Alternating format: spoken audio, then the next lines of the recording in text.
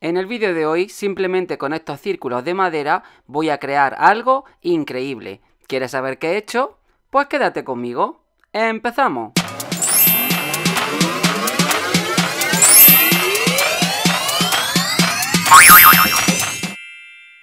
Lo primero que voy a hacer va a ser lijar todos los círculos de madera, porque así le quitamos las tiras que tenga y las pequeñas imperfecciones. Es muy importante lijarlo por el contorno y también por las caras.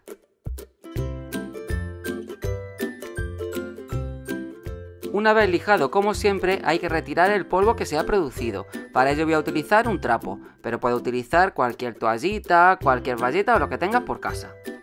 Ya está listo para pintar y he utilizado esta pintura en color verde menta que me encanta y que va genial con la colección de papeles que he elegido. Ahora os la voy a enseñar.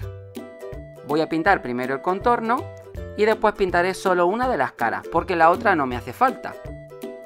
Estoy utilizando pintura a la tiza. Esta pintura, como he dicho siempre, no necesita ningún tipo de imprimación, pero si queréis utilizar acrílica, tendréis que darle una capa primero de imprimación, eh, selladora, tapaporo o gesso, y después podéis aplicarle encima sin ningún problema cualquier tipo de pintura.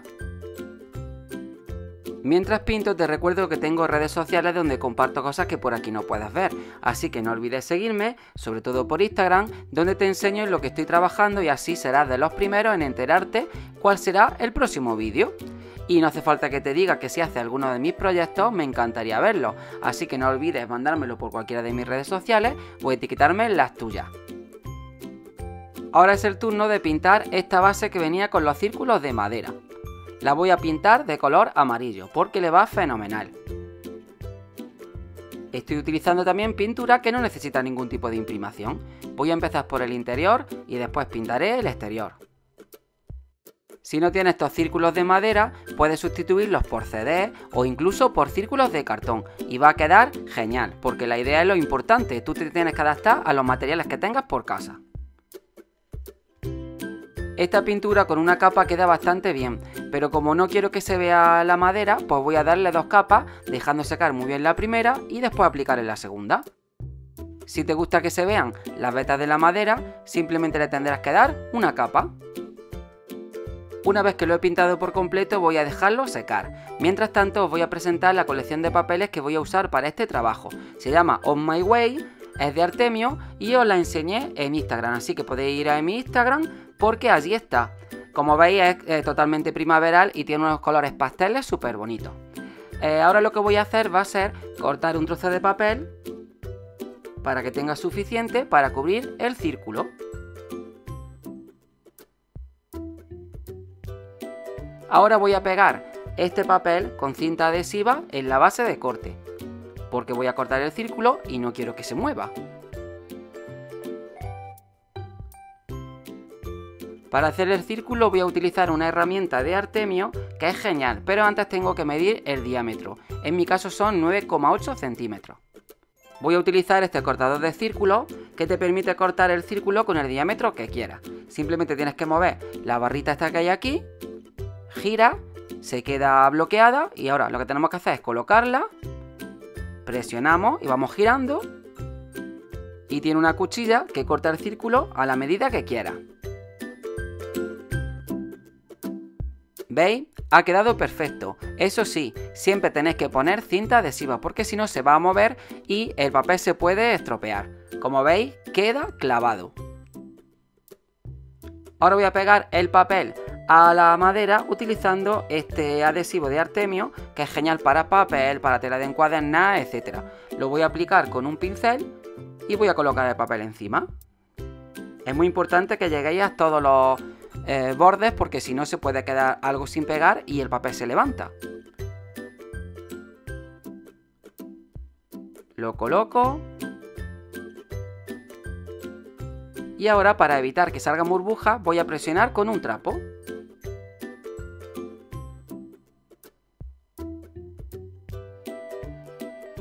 Hay que incidir sobre todo por el contorno para que se quede bien pegado.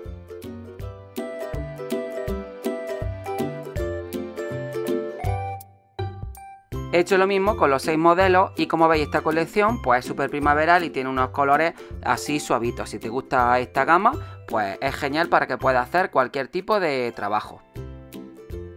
He intentado combinar eh, flores con hojas, con algunos más sencillos, pues para que no sean todos iguales. Ahora voy a proteger el papel utilizando el mismo adhesivo. Le voy a dar un par de capas y así cuando pongamos algún vaso o algo encima, si manchamos podemos darle con un trapo húmedo. Y también voy a proteger la otra cara.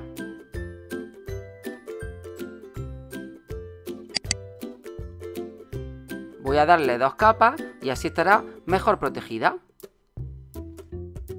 Mientras seca voy a hacer unas cuantas flores con estos troqueles de Artemio que ya os he dicho que son compatibles con todas las máquinas.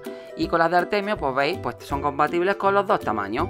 Yo voy a utilizar la mini Happy Cat, que como ya os he dicho mil veces, pues a mí me encanta porque es pequeña y la podéis tener en vuestra mesa de trabajo y no ocupa espacio. Como siempre os digo, pues tenéis que poner eh, la base de corte, la cartulina encima de los troqueles y la otra placa.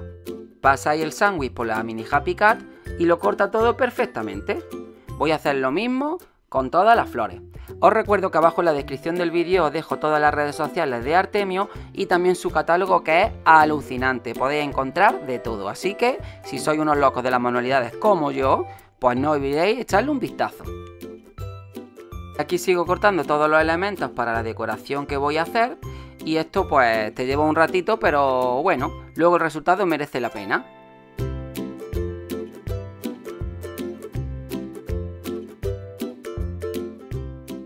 Una vez cortadas todas las piezas, pues hay que hacer el montaje. Voy a utilizar este pegamento en bolígrafo que es súper útil, sobre todo para las cosas pequeñitas, porque con los otros botes de pegamento seguro que manchamos toda la mesa, toda la pieza y es un rollo.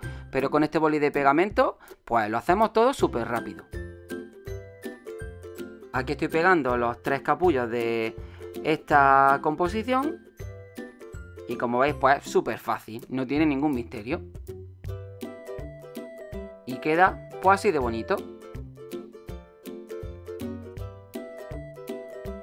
Ahora estoy pensando y he mirado para hacer la composición que voy a colocar en la base de los posavasos.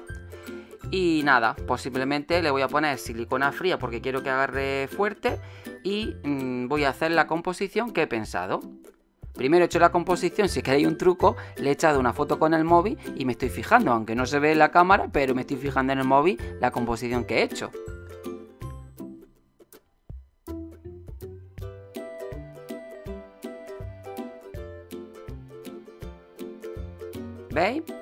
Y así queda terminada la base para los posavasos. No digáis que no mola, y la hemos hecho súper rápido.